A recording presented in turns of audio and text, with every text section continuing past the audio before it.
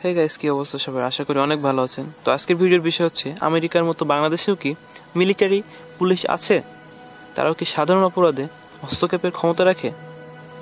তো যদি আপনি এই প্রশ্নটি কারও কাছে করে থাকেন, তাহলে হয়তো সে অন্য কোনো কিছু উত্তর দিতে পারে। তো আমি বলব, আছে, বা এমপি বা মিলিটারি পুলিশ।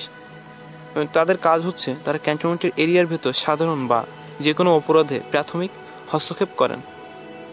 তারা বাহিনী সদস্যদের দ্বারা সংগঠিত অপরাধ অথবা ক্যান্টনমেন্ট এরিয়ায় চলাকালীন বা চলাচলকারী বা বসবাসকারী সাধারণ মানুষের অপরাধের বিরুদ্ধে প্রাথমিক কার্যক্রম গ্রহণ করেন। এরপর প্রয়োজন অনুযায়ী সিভিল পুলিশের কাছে সাধারণ অপরাধীদের হস্তান্তর করেন। বাহিনীর সদস্যদের অপরাধেও ক্ষেত্র বিশেষে তাদের পুলিশের কাছে হস্তান্তর করা হয়। নিরাপত্তাজনিত কারণে এর বেশি ব্যাখ্যা করা সম্ভব না। কারণ যে কোনো একটা জিনিসের রেস্ট্রিকশন আছে। আমরা সীমাবদ্ধতা ছাড়িয়ে যেতে পারি না, এবং সীমাবদ্ধতা ছাড়িয়ে গেলে সেটা অপরাধের পর্যায়ে পড়ে। তো এই ছিল মোটামুটি আজকের বিষয়।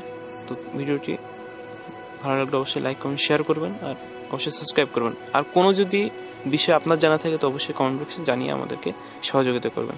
ধন্যবাদ সকলকে।